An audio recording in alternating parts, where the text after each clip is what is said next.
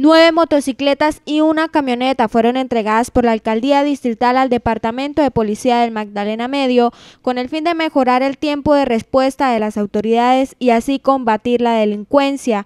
El alcalde Alfonso El Hash anunció que en los próximos días también se hará entrega de dotación al ejército en la ciudad. Allí estamos con equipos para investigación judicial, con diferentes motocicletas también para la seguridad ciudadana.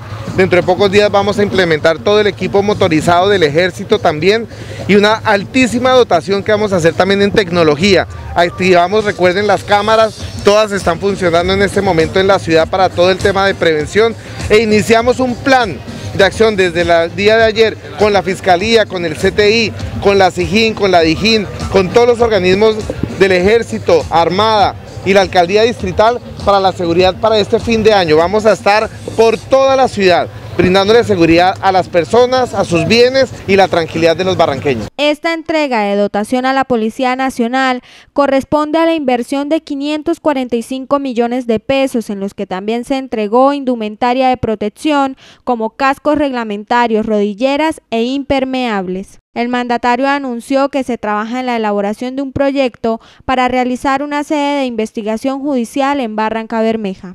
Son más de 11 mil millones de pesos que estamos radicando en estos días para la construcción de una gran sede de investigación judicial en Barranca Bermeja.